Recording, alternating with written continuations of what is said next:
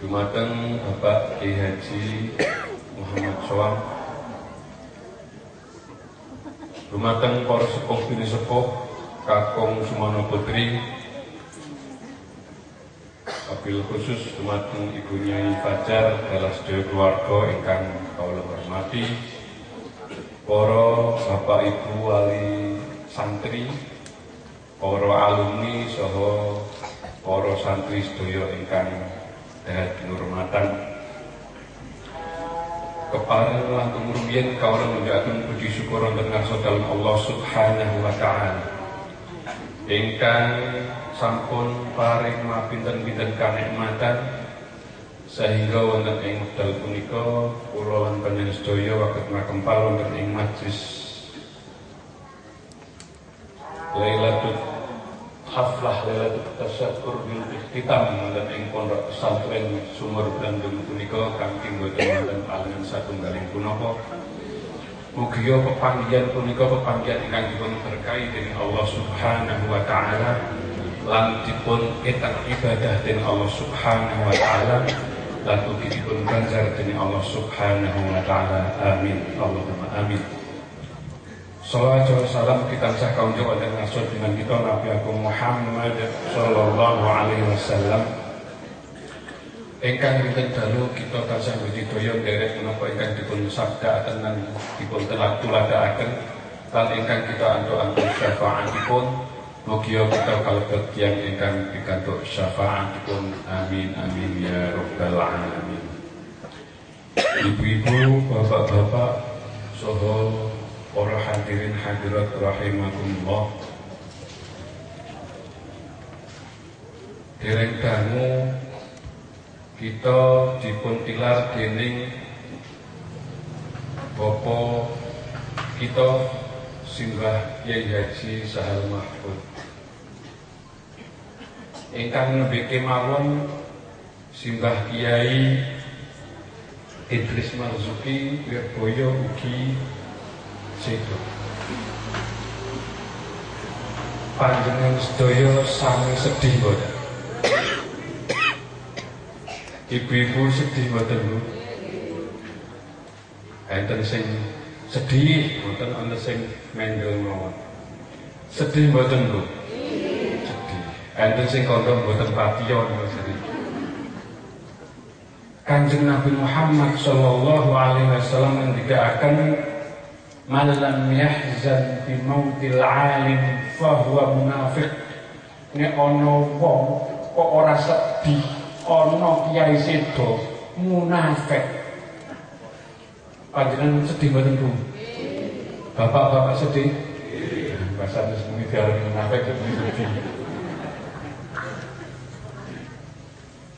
sedih pripun? Anggen panjenengan sedih dos pundi caranipun Kula ingin ane gek krungu langsung muni inna lillahi wa inna ilaihi rajiun. Karo guyu apa palu rengut?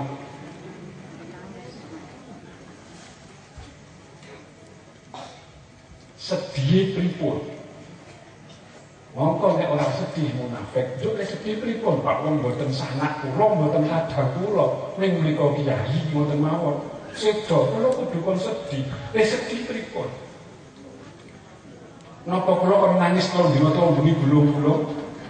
Mboten. Panjenengan menika sedihipun kedahipun ya Allah Gusti ana kiai sedo njuk engko sapa sing ganteni sebab nek presiden lereng sing daftar ganti akeh bupati kok meninggal nanti sing daftar ganti nggih oke jabatan-jabatan dunia angger niku do ditinggal do royoan ning nek kiai sing daftar arang-arang. Mila sedihipun boten njuk nangis gulung-gulung setelung dina telung bengi ora dahat boten. Ning panjenengan kedah nek wis kiai do sedo aku kudu golek gantine kudu nyiptakake gantine. Carane pripun? putra-putra wayah apa sapa wae sing dadi tanggungane dipondokke ning iso ganteni kiai sing sedo. Niku carane nyedahi ngoten niku. Nek wis ditok sedih aku nopo Pak Kiai sedo nduk, ayo wis menika Sedih niku mangke yo putrane jenengan dipondokke. Nek wis dipondokke yo insyaallah nek mangke ngilmune akeh Yuk bapak manfaat bisa jadi baik nganteni. Sebab Masya Allah, lek sing jenenge sedane kiai niku dulu dadi peten, sebab sing jenenge kiai niku lampune obore umat. Al ulama warasatul anbiya, ulama kuwi sing marisi tugas-tugasipun kenabian para nabi Nek njuk do sedo mongko nggih niku. Sedo setunggal niku sing ganti janur mono. Dani Pamane onten ku dani. Pramila menika alhamdulillah mantep insyaallah sak sampunipun kondo saking pengawasan haflah kita menika mangke panjenengan badhe medal raos anggenipun sedih dipun tinggalkan para angin ulama kanthi nyiapaken generasi-generasi ingkang badhe dumugi nggih menika putra wayah Panjenengan dipun pondokaken. Ning nek mondokke anak ampun kepengin dadi kiai. Mesti do batin mencela karo mencela mau jarene kon mondokke anake gen ganti kiai. Basan saiki muni nek mondoke aja kepengin anake dadi dadi piro. Ngeten. Nek panjenengan mondokaken putra niku estu. Ampun ngantos nggadahi niat niat ingsun mondoke anak ning sumur Bandung men dadi kiai. Mon, malah mboten dadi kiai nggih. Ya pripun wis ngene pokoke aku mondoke anakku ning Sunan Sumber Bandung men entuk ilmu terserah engko nek wis duwe ilmu arep dadi apa sak kersane Gusti Allah. Kesimpulannya nek panjenengan mondoke putra aja kepengin dadi apa-apa ndak malah ora dadi apa-apa. Estu kok nek jenengan mondoke putra panjenengan kok men dadi apa-apa malah ora dadi apa-apa. Ini ora kepengin dadi apa pokoke tak pondoke sing penting tak suwanti kiai, tak derekake kiai men dimulang nek wis ketok ilmu sing oke sak kersane Gusti Allah dadi apa-apa sak karepe malah dadi apa-apa. Ning nek wis awet awal kok kepengin men anake dadi apa-apa malah ora dadi apa-apa. Antasipun menapa bocah nek mondok niku disangoni pertama ikhlas golek ilmu lillahi taala. Estu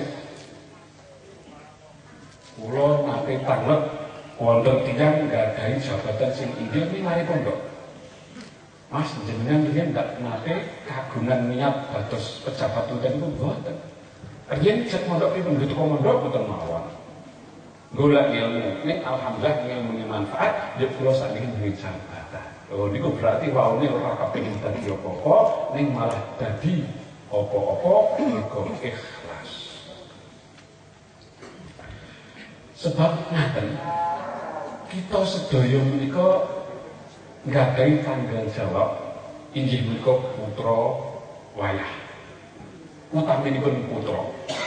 Mongko Kanjeng Nabi Muhammad sallallahu alaihi wasallam ketika akan sapa wonge sing ninggalke anak dalam keadaan bodoh nek anak kuwi nglakoni kemaksiatan kuwi wong tuane sing tanggung jawab utawa wong tuane melu tanggung jawab boten mustahil kedahipun panjenengan sedaya naudzubillah minggah swarga dadi batal mergo digondeli putrane. Enten suami istri sae putrane nggih mondok ning wonten sing ora dipondoke yo piyambake pun arek mlebu swarga dilalah dundang-dundang. Kiriyen malaikat Bapak kali mak niku ampun mlebu swarga wong kula ahli neraka. Kula nek dadi ahli neraka sebab kula biyen ora disekolahke, ora dipondokake. Saat ini kula dadi ahli neraka, sing nyebabke kula dadi ahli neraka kok mlebu swarga emoh. Kudu sing nyebabke kula dadi ahli neraka ya mungkin neraka. Niku iso wong tuane gagal mlebu swarga mergo diprotes anake. Sebab kalau kanjeng Nabi ngendika sapa wong sing ninggalke anak nalika ditinggal menika kahanane kok bodoh juk anak menika kok nindakaken perkawis ingkang dipun awisi dening Allah utawi maksiat wong tuane melu tanggung jawab Mila penting menika putra menika dipun arahaken dipun pondokaken. Setunggal kalau mau kagem ngantos para ulama para kiai kang santun sumare lajeng kagem supados panjenengan sedaya menika ngendan boten dipun bebani. Kalian kemaksiatanipun putra ingkang panjenengan tilar keranten boten dipun paringi ilmu tadi pun sangani ilmu agami saya minta akan kemaksiatan kemaksiatan na'udzubillah.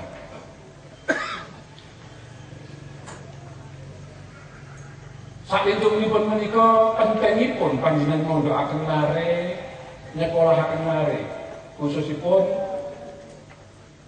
menawi panjenengan kepingin putra-putra menikah kok sukses menikah kedah kagungan ilmu dipun ngendikaken man arada dunya fa'alaihi bil ilmi. Sapa wong sing kepengin sukses donyane kudu duwe ilmu. Sukses napa mawon? Sukses sing apik napa malih? Sing Allah mawon nek mboten duwe ilmu nggih ora iso. Malih ora ngerti ilmu nek konangan orang duwe ilmu kok nyopet. Kok ora duwe nyopet kami konangan ada kebuki wong apa niku sing Allah napa malih sing sae. Terus menawi pengen sukses dunia dipun menika kedah nggadahi ilmu. Ilmu napa kemawon ingkang dipun kepingini ingkang damel gayuh kesuksesan ingkang dipun ajab wa man aradal akhirah fa alaihi bil ilmi. Nek kepengin sukses akhiratnya ya kudu ilmu. Orang mungkin kok sukses akhirat kok tanpa ilmu Waman aradahuma sapa wong sing kepengin sukses donya akhirat ya kudu duwe ilmu. Dadi kepengin sukses donya tok ya kudu duwe ilmu, akhirat tok ya kudu duwe ilmu, kepengin sukses donya akhirat ya kudu duwe ilmu. Nek ora duwe nggih boten saged. Malah dipun ngendikaken fanasu kulluhum halka ilal alimun. Al-Imam Al-Ghazali ngendikaken wong kuwi bakal cilaka kejaba wong sing duwe ilmu. Saged dipun pahami nek ana wong kok ora duwe ilmu bakal cilaka. Iku apa? Yo ora iso ngopo-ngopo kok. Ora duwe ilmu blas berarti becak yo ora iso. Wong ora ilmu becak arek ngaret yo ora ngerti carane ngaret. Arep napa ora nek duwe ilmune nggih ora iso. Mula arep cilaka wong sing ora duwe ilmu. Manungsa arep cilaka kejaba wong sing duwe ilmu. Ning duwe ilmu kok boten cepat. Duwe ilmu ya wis. Sama jeneng kok wis diamalke durung. Ini nggih padha mawon. Wal alimuna kulluhum halka illa al amilun. Wong sing duwe ilmu isih iso cilaka nek ora dinamalke ilmune. Wal amiluna kulluhum halka illa mukhlisun. Wong sing wis duwe ilmu ya dinamake ning isih iso cilaka. Kejaba wong sing ikhlas. Ikhlas niku abote ra karo-karuan. Wis ndengilmu dinamalake ning ora ikhlas padha mawon. Isih iso cilaka. Mila lajeng wal mukhlisuna ala khatarin azim. Ikhlas niku wis nyakan dibeboyo. Kadang-kadang sekolah ngomah itu jadi kenceng ada pengajian yang sumber Bandung. Tataan yang cedai kono no jantilan kok. Ikhlas lho Pak Gawas saking ngunjuk dalam. Kan nanti pengajian nanti neng luar neng gelatin niku enten dangdut niku niku saya kathah godang ikhlas niku jan. Efek neng kedah Buatan tiga kepingin ikhlas. Jam saking kepingin ikhlasnya, yang mbak ini ku nabung. Belum kleru. Nabung ini bahasa Jawa elit, ya kalau betul nabung mawon deh. Kepingin mereka nabung. Belum betul nabung mawon. Biasanya sok betul nabung bahasa Jawa ini elek tuh buat macam itu. Kok ya yurami rame iki apa nyapeni. Nabung nglumpuke dhuwit sikit-sikit niku nabung. Nek biyen kok omani kok enten penataran kok usul mitiki napa nyapeni ngerti mendapati sarung ini kok yo niku. Kok biyen gambare niku ndak? Nabung. Sak dirham rong dirham ngasek tekan sen dirham. Kepingin ikhlas lillahi ta'ala sodakoh bengi-bengi udungan sarung golek wong sing kira-kira butuh duit dagaan wonten wong ing remen-remen gek ndodok. Wah, kae mesti wong lanang kae gek ora wani mlebu omah sebab dituntut bojone karo anake jaluki dhuwit ora duwe. Ora wani turu omah ning njaba. Kae wae tak wenehane. Duncali arta sing dilumpukke di tabung setunggal dinar saking setunggal dinar menika 1000 dinar. Belum tinggal mlayu sebab ora kepengin dimulai saka-saka ikhlas ta'ala. Ikhlas itu benar. Esok-esok ono kabar. Mambungi jam ono peristiwa apa? Ono apa? Ono maling gak dasir jika duit karo wong. Saya dinar. Jebule sing kayak dodok itu orang wong sing ora wani ku ngomong wong kayak arek dasir, arek bugil, arek nolong ning omahe wong. Malah dikei duit 1000 dinar. Sing maune pun ikhlas.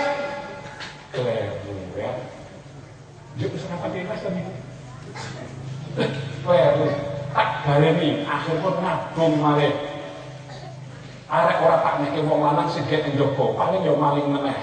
Golek endoe kan yang putri ya iki. Iki lho cah wedok iki ning omah ora pasan sebab anake njaluk duit, sing lanang yo ngamuk wae. Ketok-ketok kayak temur-temur yang kono tak uncalane, uncale estu.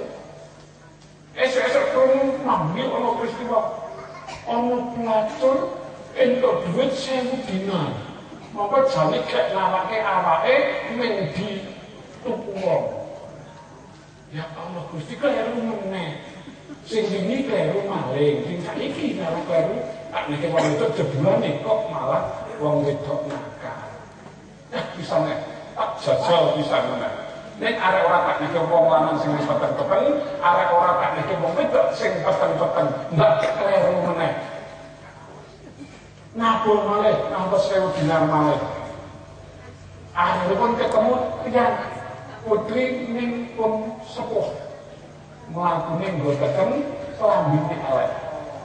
Nah iki mesti ra kleru. Ora apa maling wong ikut tuwa kok maling. Nek tak nakal wong wis tuwa sapa sing gelem. Akhir dicali. Esuk-esuk ngrungokke ana kabar ora. Emen kabar malih.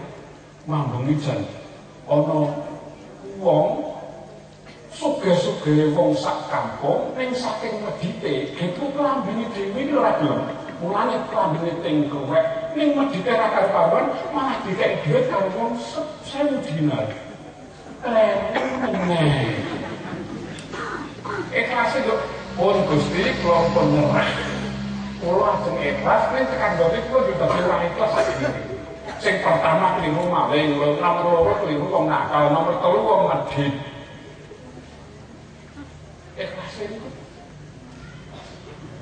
Akhiripun pun lajeng pun boten nyobi-nyobi malih, pokoknya saged ngaji mawon. Akhiripun ngaji sering selapanan kaya dari teng mriki nggih selapanan kali Pak Fauzi.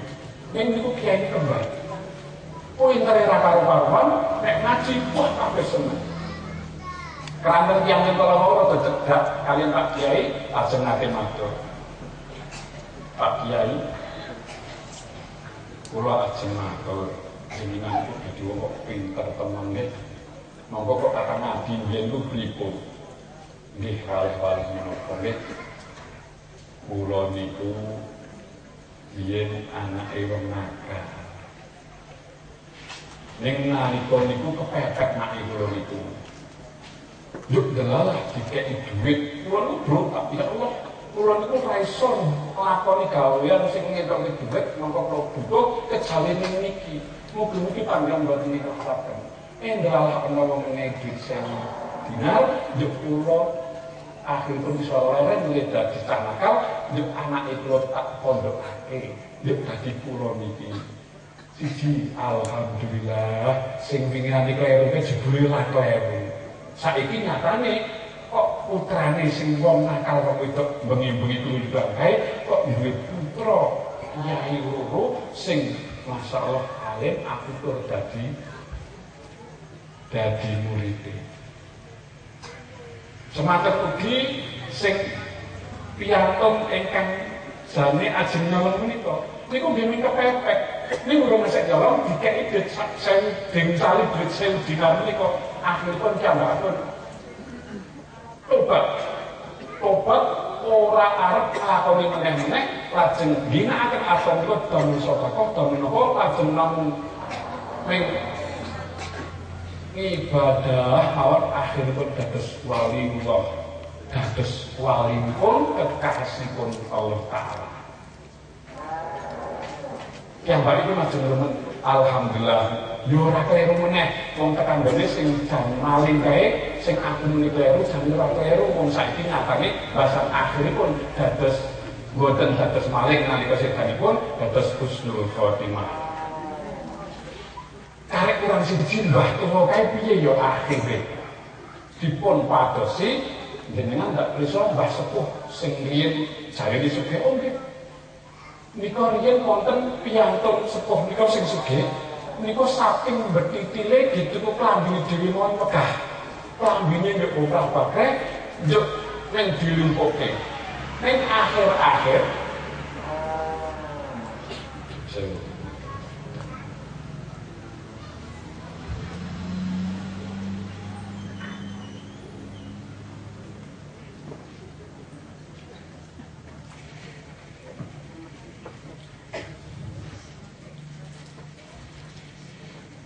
piyambak sepuh menika sak sampun kiambakipun pikantuk uncalan duncali atom menika isin Ya Allah Gusti aku kuwi sugih-sugih wong kene ne ya medhit-medhite wong kene lah kok aku dikai dhuwit 1000 dinar aku isin karo Gusti Allah. Wis aku tak pindah saka desa kene ning aku tak wasiat aku tak pindah saka desa kene ning nek sesuk aku mati bondo donyaku kabeh tak serahke nang gone yatim piatu karo fakir miskin. Yang ini pun cerita pun saat ini bondo donyane sing teng teng desa iki pun telas pun di aturake pun diparengake para yatim piatu lan fakir miskin. Alhamdulillah ora kleru meneh Janjane pun kenceng ikhlas, dadi ora ikhlas, yuk dadi ikhlas malih. Niku ikhlas mabune teng mriku niku. Wong wis ikhlas, bahkan sebenarnya kumpul yo. Bila kalau mau menjadikan wal mukhlisuna ala khatarin azim. Wong ikhlas piye? Udane bebayane sing bebayani nang ono sing ikhlas ikhlas ikhlas. Lajeng kanthi panjenengan sedaya mondhokaken putra-putra dipun paringi mangke kalian Pak Kiai mucalan-mucalan ingkang magetan kalian agama. Ilmu itu wonten ingkang mastani singkatan saking ain lam mim. Ilmun. Ain menika wonten kang mastani ilmin. Panggilan ingkang inggil artosipun tiyang ingkang kagungan ilmu badhe dipun paringaken wonten ing papan panggilan ingkang inggil. Lajeng lamipun menika lapifun lembut sopan bijaksana wong nek orang duwe ilmu biasane lakraan kasar orang duwe unggah ungguh namun menawi dengan ilmu lajeng maleh dados latifun lemah lembut. Lajeng duwe suposito akhlakipun dados sae ingkang akhir mimipun menika mulkun kerajaan. Wong nek duwe ilmu bakal iso duweni jabatan utawi dados uh, pejabat utawi dados yang ingkang merintah wonten ing tlatah mriku. Dados kanthi otomatis panjenengan boten tenusah. Budidaya kanthi panjenengan sedaya menika kagungan putra ingkang kagungan ilmu, putra menika mangke badhe dipun angkat derajatipun, badhe dipun sayaken akhlakipun lan badhe dipun paringi e, jabatan utawi paringi derajat wonten ing babagan pemerintahan menika. Menika ilmu Namun kadang-kadang kita menika sok boten sabar, kepinginnya cepet-cepet, monggo cepet-cepet di boten sakit. Lan tiang engkang engkang nembe ngudi ilmu menika wonten ing maghnipun Allah Subhanahu wa taala. Hikmahipun tiang pasos ilmu dipun ngendikaken dening jeneng kita Nabi Muhammad sallallahu alaihi wasallam man kharaja fi talafil ilmi fahuwa fi sabilillah hatta yarji'a. Termasuk panjenengan dalu menika ibu-ibu bapak-bapak adik-adik sedaya ngrawuh wonten ing mriki. Nalika panjenengan medal saking konten dalam panjenengan sedaya menika panjenengan sampun mlebet wonten ing sabilillah. Nek jenengan medal Pak jenengan nonton besok boten Jan boten diganjar babar blas. Ini panjenengan kalau mau niat niat besok arek ngaji neng sumur Bandung ajeng medal konten ini sampun mulai dipun ganjar. Ngantos panjenengan kundur. Kok upamane, nah upamane kok boten kundur apa sih pun mbuh tekan dalan untuk kliben sedo niku panjenengan sedonipun fi sabilillah. Mosok kliben kok ana sing sedo to nggih kliben pilih bantrek teng burne trek lah ban serpin itu coplok kontal lepas yang mriki niki anjuk kelilipan niku kok yo boten nonton. Riyen tahun 70 pinten nggih? Eh 80 pinten. Kula kasih alih.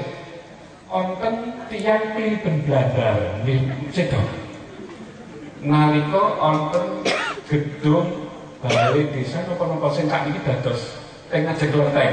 Teng ngajeng klenteng niku riyen wonten gedung.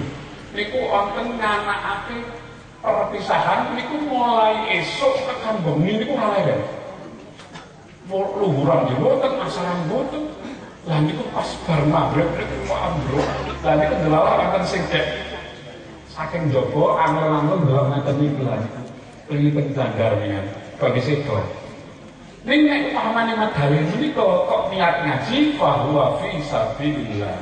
Deke anggenipun sedo niku fi sabilillah bakal entuk derajat wonten ngarsipun Allah Subhanahu wa taala. Lajeng hikmahipun tiyang gadah ilmu menika nggadahi pangarep-arep angsal ganjaran sing ora mandek. Idza mata ibnu Adam in qata amalu illa min thalathin.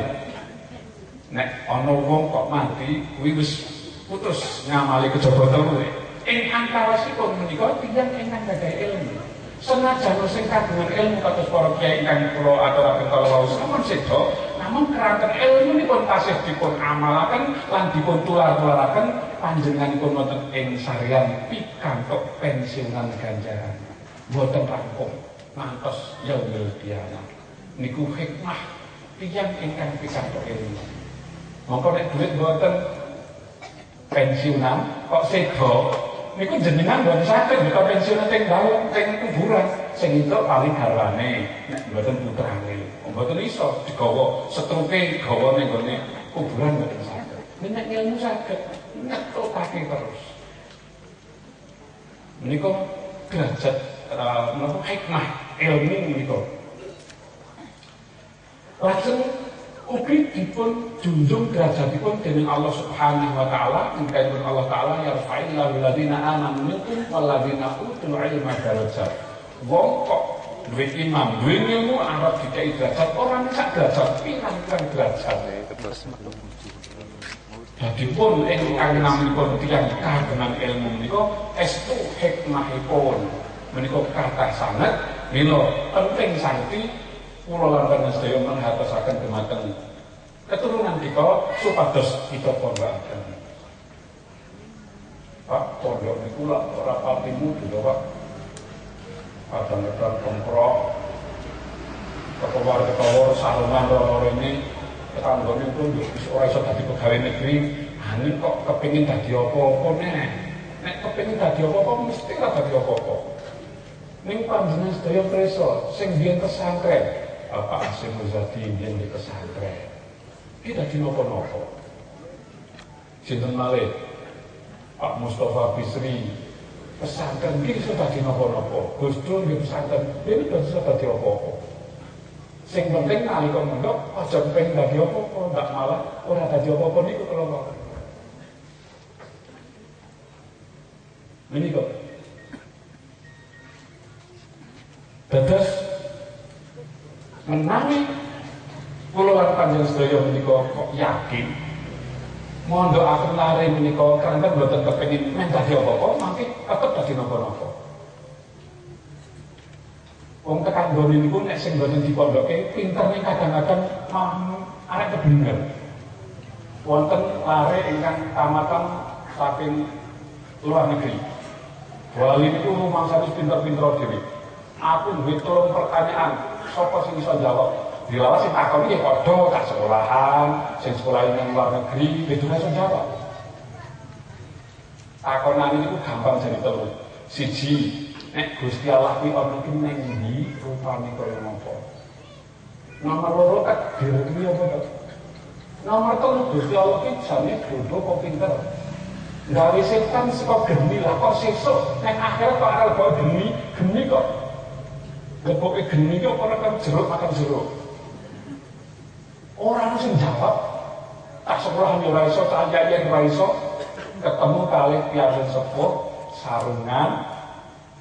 Kira-kira di kamu kan sarungan sandalan juk ketunan itu kira kamu untuk so tikus nopo niku pertanyaan ini? Begitu kalau penting budi-budi orang sing jawab. Gusti Allah endi kaya apa rupane? Juk takdir kuwi apa? Juk Gusti Allah iki janjane piye to? Gawe setan seko geni kok malah sok ning akhirat diharap kowe geni. Yang sepuh itu malu kalah mesem bocah itu kaprok keplak gitu plok kok jengkel panjenengan aku ora jengkel. Lah kok ngeplak? Ayo kok kok ngeplak. Ya kuwi jawabane telung persoalan kuwi. Tapi untuk kula niku takon pertanyaan jawabane kok dikeplak. Aneh ngopo nek tak keplak? Ya loro, loro. Loro itu yang bener.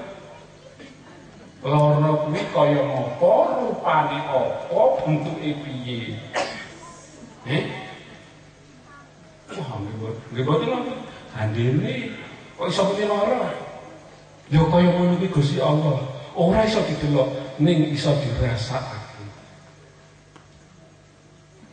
Asing nomor loro.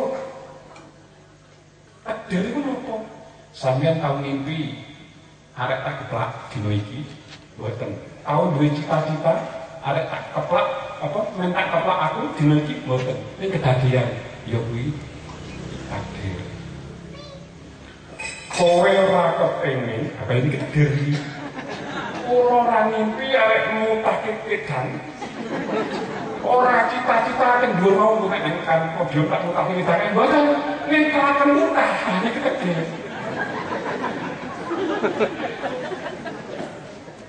Iki kejalane paling contoh jan pas niki.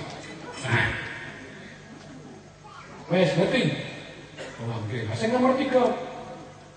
Setan gak suka geni. Lah kok mangkas jenenge kok ini kok geni. Aku mau ning nggo apa nang? Eh tangan, tangan ki sapa? Kulit, daging, balung. Pipi ku sapa? Nggih, pipi ku lho nggih. Balung, kulit, kali daging. Kok lara ngene? Kudune ora lara kok iki ya daging, ya kulit, ya balung. Iki daging, ya kulit, ya balung. Apa lara? Kudune ora lara. Sebab apa? Geni sing gawe-gawe setan kuwi kuwi ora pati panas dibanding geni neraka sing panase beribu-ribu kali lipat. Geni yo tetep gila sama kayak pelaknya kok. Mboten mboten mboten sakit. Lah dene niku jebulane ngilmu donya kalian ngilmu pondokan tetep menang sing pondokan niku. Niku luar negeri. Sekolah di sekolah agama ing luar negeri ning kalah. Lah, atus niku mboten ning gawe kalah-kalah kaya wau niku, ning paling mboten nek ing pondok niku biasane sok karo ana berkahe kiai. Nek ing sekolahan iki mboten ana berkah. Sebab dosene, gurune nek ora dibayar ora mlebu. Ing mriki kan Dadi kangge Pak Kiai tindak terus buat mati ngucapin nopo buat dibayar oleh santri ini buat Neng nek ana dosen, ana guru, telung sasi to ora dibayar, ada kok mokong ora mbak ora. Tur sok jarang muni sak durunge mulan dosen napa guru niku njuk hadiah Fatihah sik kalih sing taklif sing napa ajeng di pamane matematika sing aran sapa yo di Fatihah ini mboten. Lho kan Fatihah mboten akhir ndonga nggih mboten. Niku bedane. Mulane padha-padha wau pinter, ning kok pinter mbah sing sarungan sandalan. Lho kok nek awal pertanyaan kok jawaban kok ning siji lak jan pinter tenan. Niku mergo berkah manfaatipun ilmu agami dibandingke ilmu-ilmu ingkang di senajan ana agamane nek ting eh menapa boten ting pondok itu sok biasanya barokah niku lho. Barokah itu nggih angel kok. Sing jenenge barokah niku nggih angel. Untuk wong pinter ora karo karuan ning ora nggih sampe diterima. Niku yo darani ngene barokah. Ning ana sing ngene ping sak maja mawon sanjune kurang-kurang wonten santai niku nggih barokah. Barokah niku penting. Bila nek pondok niku nggone barokah jadi pondok niku Senaso kalau mau digendikake ora ketan ning kene ndukung teng gebrak. Ngapake karo nutuki wajan biasa. Ini kalian bocah iki ngoten menika. Para bapak-bapak, ibu-ibu, para sedaya ingkang dadi hormatan, kula wau niat saking griya ugi badhe telabul ilmi kalau niat badhe patos ilmu badhe nyerep nyesep ilmu ingkang mangke insyaallah badhe dipun aturaken dipun uh, asta dening Bapak Kiai Haji Muhammad Suam. Pramila kawula namung badhe ngaturaken bapak ingkang sampun kawula aturaken kala kalian dumateng khususipun para santri monggo panjenengan sedaya ingkang estu anggenipun dibinau atas ilmu wonten ing pondok mriki insyaallah niki menika kalau ingkang ikhlas insyaallah mangke ing ikhlas panjenengan sedaya menika mangke badhe dados. Napa mawon ingkang dipun kersakaken dening Allah Subhanahu wa taala? Kados salibipun Allah Subhanahu wa taala badhe ngangkat derajatipun tiyang ingkang gadhahi iman dan ilmu kanthi pinten-pinten derajat dan insya Allah kanthi panjenengan para santri kagungan ilmu panjenengan badhe dados tiyang ingkang latif ingkang gadhahi suposito ingkang gadhahi akhlakul karimah. Sebab sakniki niku jan sing jenenge akhlakul karimah niku jan. Pun boten enten malahan. Sing jenenge sekolahan kula dereng tahu ana kataman pondok bar kuwi njuk mubeng-mubeng desa klambine dicoret-coret kadene coret-coret karo numpak sepeda motor mboten enten. Minta SMP niku lho. Wingi pengumuman koyo-koyo wis ora koyo wis ora sekolah meneh.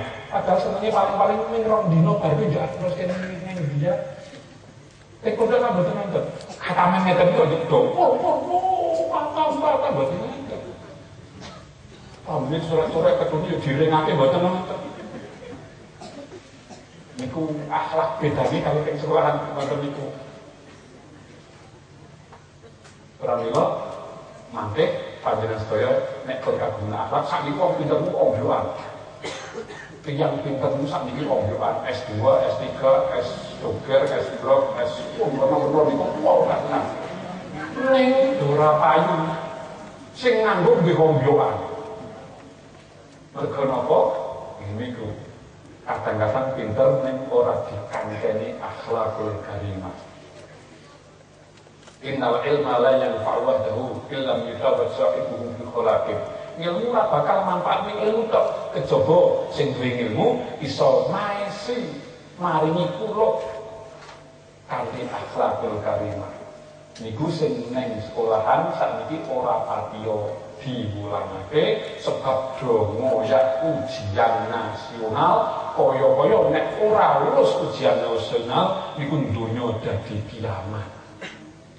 Padahal nggih ujian nasional niku nek cara kula kon ngilangi iki wonten salah satu calon presiden sing wis janji nek aku dadi presiden ujian nasional tak ilangke kula setuju niku. Lawang sekolahan ning Temanggung kok karo sing ning Jakarta kok padha lulusane. Mongko mereka tidak presiden. Mongko negeri mereka memiliki swasta ini jan ning pinggiran. Kok padha lulusane? Ayo raden. Sing kekirian jaya niku sekolah men ora katokan, ora sandalan. Lah kok padha karo sing Jakarta numpak mobil. Ayo ora cocok. Kudune nek ning Temanggung luluse semene, nggo ning Semarang beda meneh, ning Jakarta beda meneh kudune ngoten. Ora mulai Jakarta tekan Merauke niku kok padha.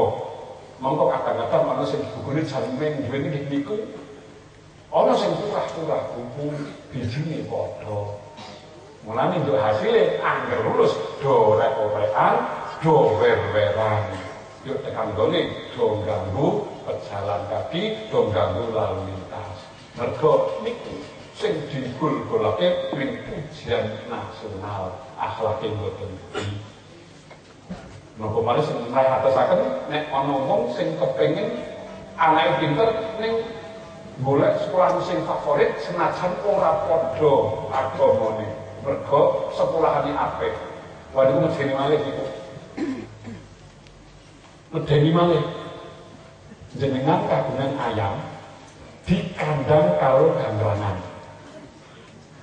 Umpamane niku nek selamat ora dipangan gangrangan, metu niku serupa ayam yang kelakuan iso kaya gangrangan misalnya. Anake wong Islam di sekolahake sing ora ana Islami napa sing jangan mengenal Islam.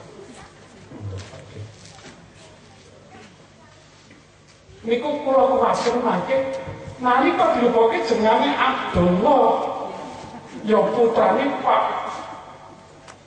Abdurrahman upamipun ning kandheng sekolahane niku mau kandange ora kandang padha metune dadi beda. Nek pitik iki dikandang karo pitik? Metu manusia kaya pitik. Lalu kita kepengen di kandang karo macamen porong Anak selamat pitik, metu jadi pitik ning kelakuane kaya macan bayan iku. Bila sok ngeten sakniki jenengane tetep Islam iki jebulane wis ora sok salah. Niku mungkin kandange kleru.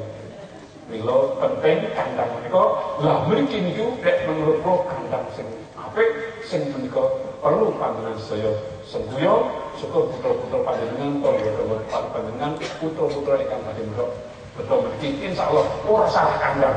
Metu tetep. Kaya nih sing ahli tahlil. Dia tetep ahli tahlil. Ora berita dadi beda atas kalau enggak kawataraken makaten ingkang kawula aturaken pas jam 11 kawula akhiri buat pilih wonten kawula mungkin dengan kata ini wonten kula syukur kita Allah subhanahu wa ta'ala Astaghfirullahaladzim. Wallahul muwaffiq ila aqwamit Assalamualaikum warahmatullahi wabarakatuh